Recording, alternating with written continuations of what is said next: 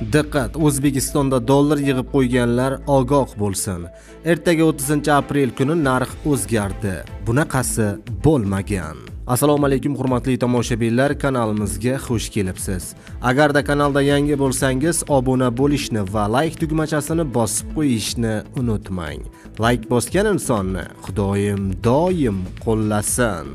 Diqqat qiling, Markaziy bank xorijiy valyutalarning o'zbek so'miga nisbatan 30-aprel kuni amalda bo'ladigan qiymatini e'lon qildi.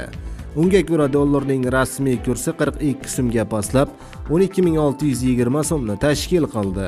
Rossiya rubli esa 1.91 so'mga pastlab 135.74 tiyin bo'ldi.